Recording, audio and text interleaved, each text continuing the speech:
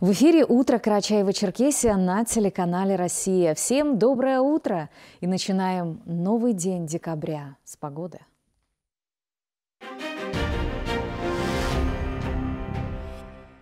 В Карачаево-Черкесии днем местами дождь и мокрый снег. Ветер западный 5-10 метров в секунду. Температура ночью 9 градусов мороза, а днем плюс 3, плюс 8. В горах местами минус 3, плюс 2. В Черкеске без существенных осадков, ветер западный 5-10 метров в секунду. Температура ночью до 6 градусов мороза, а днем до плюс 7. 17 декабря Ярослав Запашный в Кисловодском цирке. Спешите! В Черкеске сотрудники госавтоинспекции совместно с представителями таможни проверяли автомашины с иностранными регистрационными знаками. В ходе мероприятия Сотрудники госавтоинспекции останавливали автомобили с иностранными знаками, а представители таможенной службы осуществляли проверку документов. Так, в рамках рейда проверено более 40 автомашин с указанными регистрационными знаками. Выявлено три факта нарушения таможенного законодательства Российской Федерации, 11 нарушений правил дорожного движения. Подобные мероприятия планируется проводить на постоянной основе.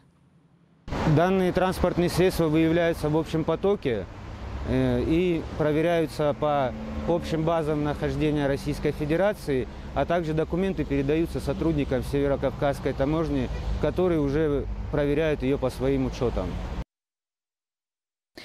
Сотрудники Госавтоинспекции Республики встретились с представителями республиканских средств массовой информации.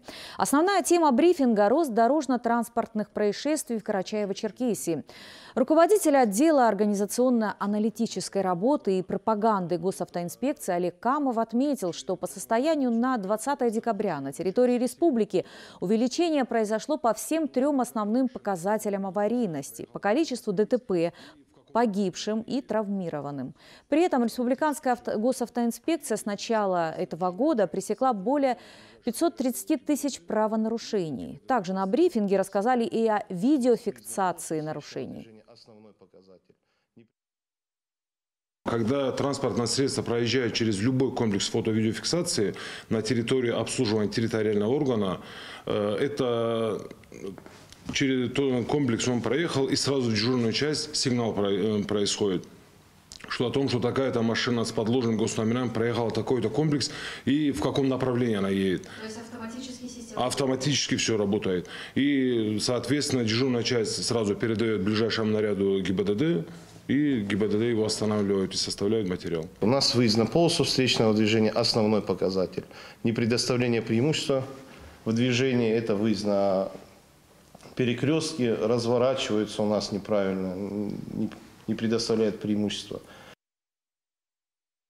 Новый информационный день продолжает свое вещание на телеканале «Россия». Ровно в 9 смотрите «Вести» на нагайском языке. Затем также программы «Нагайская редакция» в 14.30 «Вести» Карачаева-Черкесия с Аллой Динаевой. Всем удачной рабочей недели, хорошего дня и встретимся завтра.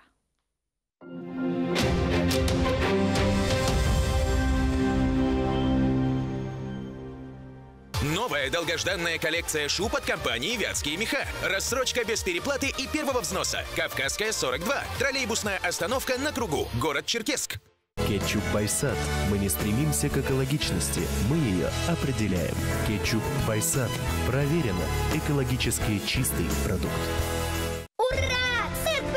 17 декабря в Кисловодском цирке Ярослав Запашный «Тигры на земле и в воздухе». Билеты на сайте и в кассе цирка. Спешите. Категория 0+.